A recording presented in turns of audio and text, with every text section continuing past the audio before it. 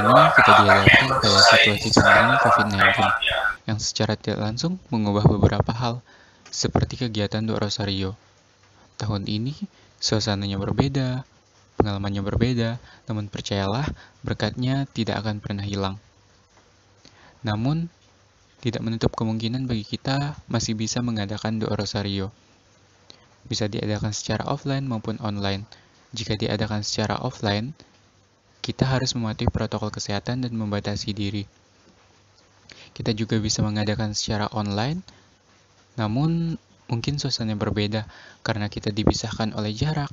Kita hanya bisa melihat layar laptop, layar HP, dan kita mengadakan dari rumah masing-masing. Namun, percayalah bahwa doa Rosario memiliki kekuatan dan mujizat yang luar biasa bagaimanapun kesulitan kita.